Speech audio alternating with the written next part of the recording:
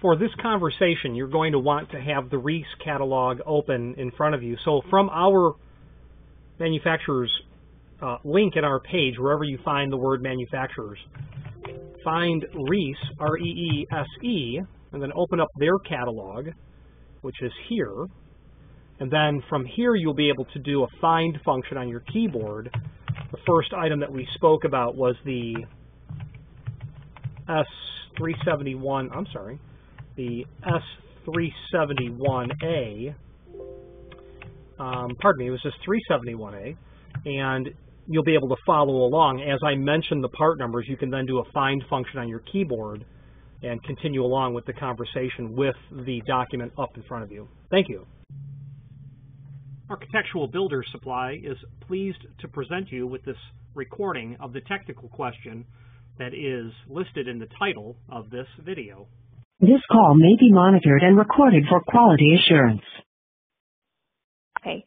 Um, so I've heard, although I have not seen, that there are some stop strips that are collapsible or kind of spring up. Um, for example, if somebody in a wheelchair rolled over them. Do you guys have anything like that? No. no. Well, a stop strip. Um, no. Mm-mm. I'm not familiar with anything that would would collapse. Um, there are thresholds that have a piece of vinyl or synthetic rubber that have a couple of pieces of aluminum that you secure, or a single piece of aluminum that you secure it down to the uh, ground, mm-hmm. uh, to the floor. It's called a, thre- um, a handicap threshold, and it's a large vinyl bubble, very commonly seen in shower enclosures, um, and that mm-hmm. can be rolled over. Uh, and in that regard, it collapses, but it doesn't mm-hmm. collapse like I think in the true sense of the word collapse. Okay. Well, let me maybe tell you what the situation is, and you can tell me if maybe there's some other some other solution I'm not thinking of here. Um, so we have an existing building with uh, doors that have a uh, half inch saddle threshold right now, but we're getting some water infiltration. Mm. So we're trying to um, fix that uh, with some kind of a strip, uh, stop strip or a bumper threshold. Um, but you know, it needs it needs to be ADA compliant, and the doors, you know, are already installed, so we're already at a half inch, uh, which is the max for ADA. And so the only thing I can think of, which our um, accessibility specialist had mentioned was some kind of a stop strip or some kind of piece that would, you know, collapse under the wheels of a wheelchair, meaning it would not then increase that half inch max. If that makes mm-hmm. sense. Um, I mean, I don't. The only the only other thing I can think of would be something that fits like actually on the door, like on the bottom portion of the door that could um you, could use like a regular bumper threshold, but since the door is already cut, you've got a quarter inch gap. Is there some kind of a piece that adheres to the to the bottom of the door that kind of you know would fill in that quarter inch gap? But I don't know anything like that exists, and, and so I'm just kind of so, looking around. Yeah, so you you obviously have exterior openings. You've got a half inch saddle threshold, and yep. you have what's creating the seal from the bottom of the door to the threshold. Uh, well, we don't we don't we we put in some sweeps to see if that would help, but that really hasn't helped much. I think the water is coming in uh from what I'm hearing from like the the frame. Basically, it's kind of dripping down the frame. Right. And so for for two of the doors that don't need to be compliant, we're adding stop strips that you know uh, adhere onto the half inch saddle, and that's totally fine, and we can move forward with that. But on two other doors, we need those to be compliant, and I'm just kind of drawing a blank for what we can what we can do other than you know replacing the thresholds with a bumper threshold and you know reordering doors that can be cut for that, you know, typical quarter inch uh, cut that's necessary. Yeah, obviously reordering doors that are longer um, would solve the problem because Right, then you could yes. go with a, a you know, Bump an threshold. ADA compliance bump up threshold. Exactly. Um, so what needs to happen first is that drip caps must be added to the header, yeah, so we have done that. and that's still allowing the water to pool at the bottom of the opening. Yes, yes. So I, I'm thinking that you know it's not just coming from the top. I think there's maybe some you know side blowing wind and the rain is still getting into the frame, not just from the top, but Mhm. maybe from the sides and dripping down. Yeah. So have you considered a what? Uh, what is the door made of? Uh, it's an aluminum, you know, and glass door. Ah. Um, have you considered an automatic door bottom? Uh, no. Surface mounted are, are not going to give you compliance with ADA, but if you could figure out a way to get one into the inverted bottom channel of that aluminum storefront door, um, you'll be able to create a seal, that's for sure. I don't think it's going to stop the problem, but you'll have a seal there. So what? Um, is that here on your website somewhere? I can look at what that is. Absolutely. Let me pull up a part number. Okay. And again, it'll have to be adapted, but I think it can be done. Uh, or maybe, maybe it does. Who knows? So part number would be 371A as an alpha. hmm 371A. And when that comes up, just click on any of those that come up. Okay, automatic door bottom. Okay. So I'm looking at uh, a section here. Yeah, it's a cross section of uh, this funny oh, automatic. Down. Um, yeah, so, So, that's is an this automatic. something that's added? Like this is something like the do- explain this to me because I'm I'm new to this. So click Buy Now on the right-hand side, and let me know when the next page loads. Buy now. Uh, not On the right side? Add to cart. Oh, okay, great. Add to cart. Uh, scroll down and look at the uh, Okay. isometric drawing that's there. Okay. Yep. Um, Gives you a better idea. Um, you know, that one's going to have um, potentially the ability to fit into that cavity a bit better at the bottom of the door or whatever you're going to need to do to accommodate it. There's another one that's the same concept that's intended for the inverted bottom channel on a on a hollow metal door. And that's the 372A. Similar So let me- So uh, are you saying that the, the sort of like the bottom plate of the aluminum door frame is removed and this piece is fitted up inside of it? of the door, it would go into the bottom area of the door. Yeah. Yeah. Oh, okay. Okay. Interesting. And then, um, and I guess, like I'm looking at that that first one that I clicked on.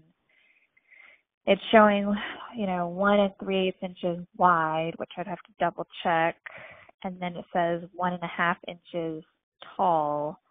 So, it, um, if I'm a quarter inch short of, you know, the store needs to be a quarter inch longer than it currently is, is there uh, kind of an adjustment where you can determine that, or is this vinyl sponge vinyl piece?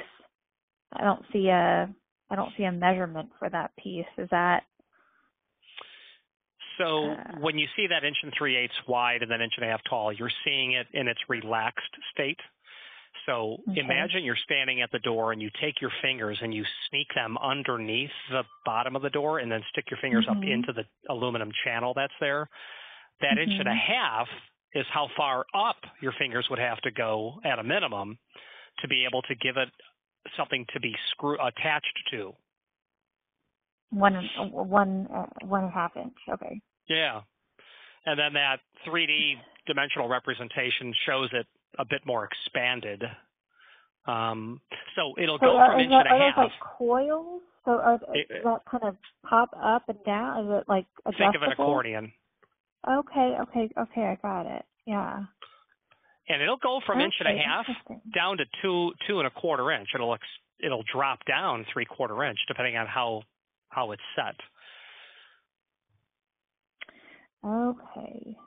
So it goes. Oh, sorry. It goes from one and a half inches to you said two inches. No. Two and a quarter, but think of it, it goes from zero and it will drop a maximum of three quarter inch. So it'll easily Okay. handle your quarter inch requirement. Oh, okay. Interesting. I did not know this thing existed. That's great. Okay. Yeah. And as your Um, as your ADA specialist would tell you, you can't have one surface mounted, which would be super easy. That will encroach into the clear opening as well. Um, so the the mortise style like this may work, um, or it'll help, but I think there's still going to be water. so Where's the job? It's in uh, College Station, Texas. Okay. They've been getting a lot of rain. Yeah, I was gonna, you know, you're saying this. I'm thinking, you know, Gulf Coast of Florida. I'm thinking areas of horizontal rain. yeah, I'm. Me think about that. So, so when you say not surface mounted, right? This is the recess mount that I'm Exactly. looking at right now, because the surface mounted would not be ADA. You're saying? It would not be. Um, interpretation of ADA would prohibit the surface application. Um, and the reason I had asked what door type it was, because if it was wood, you could surface mount it, but you would mortise the face of the door, provided it wasn't fire rated, and then you could make it Mhm. flush. Um, Mhm. You know, the code is clear um, regarding you know governing this, and that would be outside of what would be permissible. Mhm. Mhm. If you ever notice when you're in ho- uh, hotels, you'll never see a surface-mounted door bo- uh, automatic door bottom. You you Oh, see no. them, but it's not it's not handicap compliant, so you don't see Yeah, them in the yeah. ADA rooms. Huh. So, so this version, recess mount into the glass aluminum doors, uh, would take up that quarter inch that we were missing, and then we would add in sort of a typical ADA bumper threshold. Um, Uh, no, I don't. I, I think you would stick with your saddle that you have now. stick with the saddle. Oh, And this So- would just seal up to the top of the existing saddle. okay. And is this this seems? I mean, because I like I mentioned, we we already tried installing uh, these door sweeps that basically did nothing. Is this more of a robust solution, or how does that how does this kind of compare to like an interior door sweep that they've tried and hadn't, Well- hasn't seemed to to do much? Yeah, when you look at the bottom end of that, you're going to have all that surface area potentially making contact with your sill. So you've got a ton of surface area. I, I, I happen to be in the Gulf Coast of Florida. It's not going to stop Okay. horizontal rain. Is the bottom line. Mm, mhm. Will it will it stop occasional rain? Yes, of course. But door sweeps and whatnot, they're not meant when the, when it gets up 30 miles and above. It's you know, I've seen water come in here with interlocking thresholds. It just gets in. I mean, when we had Irma Mhm. here, it completely ruined condos on the fir- water damage on first and second floor. Oh yeah, I'm sure. Hmm. But you have to put something there. That's the bottom line. So how? Let me just let me ask you this question. Um. So okay. So with so with the sat so with our existing half inch saddle threshold, we would still add this just to just to basically seal I mean it's already cut for this half inch thresh, threshold. So adding this piece would just kind of help seal the bottom. Yeah, so this would mount into the door, and Mhm. when the door closes, there's a mechanism that gets depressed um, and forces that bottom to drop down to the length that the mechanism that governs that is set to, and will give you a seal across the top of your saddle threshold. So I mean, if the seal, if the the level of drop is like, I mean, I don't know what it is. It's definitely less than a quarter of an inch. It's who knows? It's an an eighth of an inch or sixteenth of an. I don't really know what it is that would that would help to seal this. That would sort of take the place of like a like a like a bumper threshold. Am I understanding that right? Well, um, it's a seal that would be provided underneath the door since you can't Mhm. have a bumper style or a bump up style threshold without replacing the doors. Um, right, right. It may not may not be part of the conversation. Yeah. I guess I'm just wondering, um, you know, do you do this, this automatic door bottom in conjunction with a bumper threshold? Does that get you any closer to avoiding sort of the infiltration of horizontal rain? Absolutely. that- So Yeah. yeah, I use the term belt and suspenders approach. If it was me, I'd have a bump up, I'd have an automatic door bottom, and I'd have a sweep on the opposite side, and I would do some of that interlocking. The issue is you've got, you know, A117 to to comply with, so that's the problem. That's not the problem. That's, So I- that's the restriction.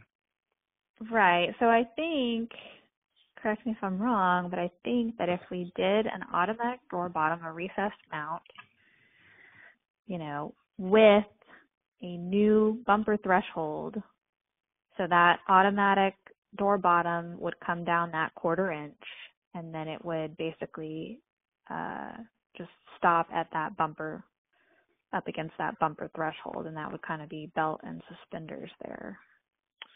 Yes, your your so your bumper um, is going to give you that first line of defense.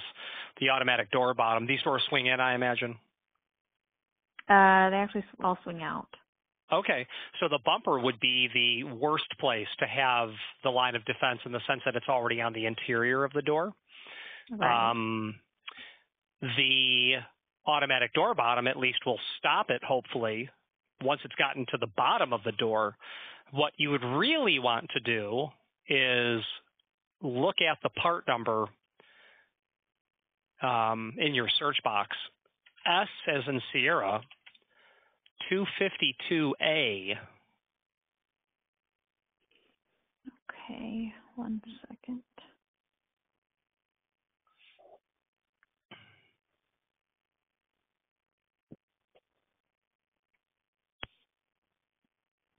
Okay. And when you look at that, it's, you know, uh, in this scenario, we're not trying to be handicap compliant, but you could have your Mhm. bumper, your automatic door bottom would seal against that flat plateau, and then that leading edge, you would then attach an, uh, a hook strip to. So you'd have three points of contact where you are you're Mm. doing everything under the sun. Then at that point, you'd still add a drip cap to the outside face of the door itself to help drive it Mhm. from even getting to the top of the bump up area. So that's Mm. that's the one two punch. Wow. That's robust. Yeah. Hmm. Yeah, I'm not sure where we're at at this point in terms of wanting to do the one the one two punch or just Yeah.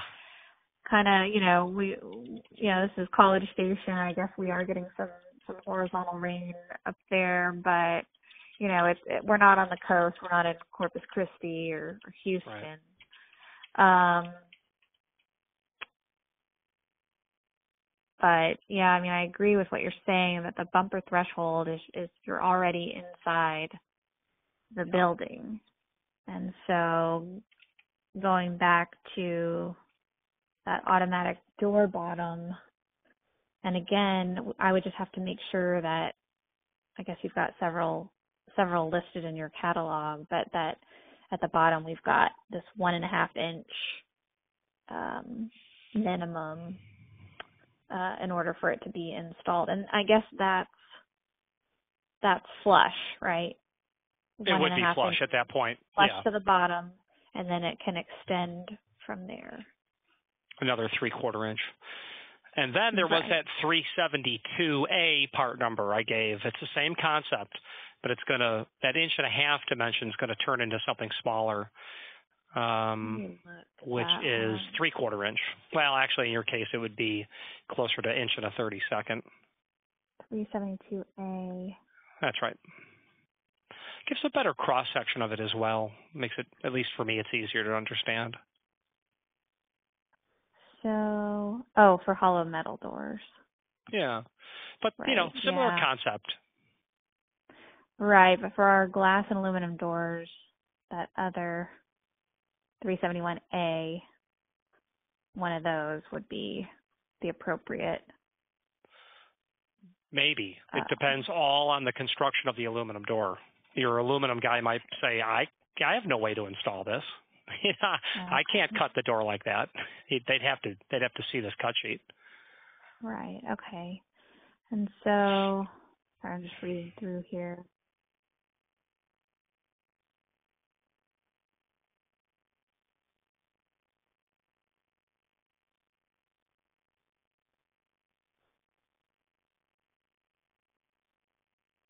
Mm, Okay.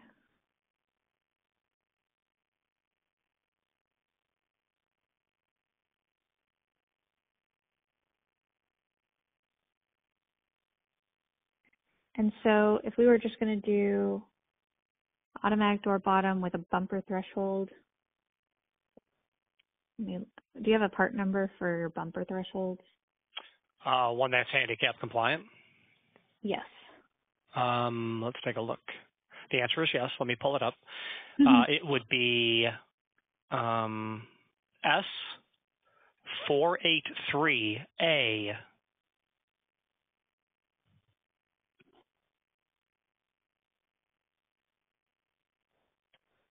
Okay.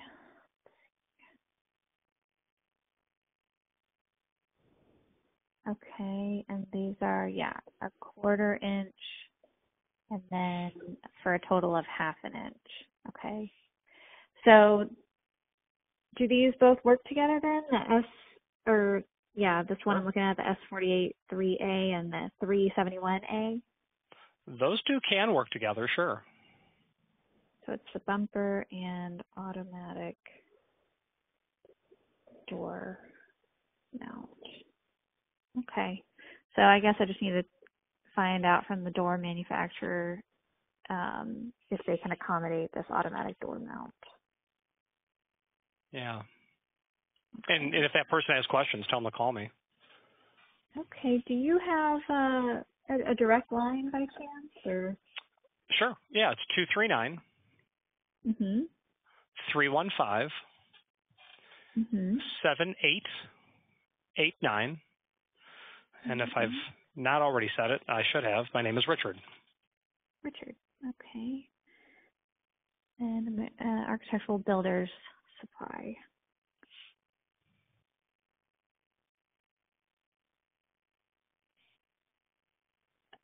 Okay, great. Um, and then these, all these models are just, they're all the same, but there's just different lengths, right? That's what I'm In my site, at. yeah, you'll you'll see the last two digits. It just defines the length. Oh, okay, gotcha, gotcha. Okay. Um, and so, I mean, I just want to make sure I haven't left anything off. Are there any other possible solutions um, that you would have for this for this issue of kind of being short by that quarter of an inch and needing to be ADA compliant and all that, or is this this seems like it's probably um, Yeah, it, it's everything that I can think of, um, and you know the the requirement to comply with with ADA Right. is it it there it leaves us no wiggle room. Um, Right, right. Okay, well, great. Um, I really appreciate your help on this. awesome. I'm glad you called. Thanks. Bye. Bye bye. Architectural Builders Supply hopes you have enjoyed this program. Again, thank you for watching, and if you've enjoyed this video, please click thumbs up. Please subscribe and maybe even send the video to someone that you know. Thank you.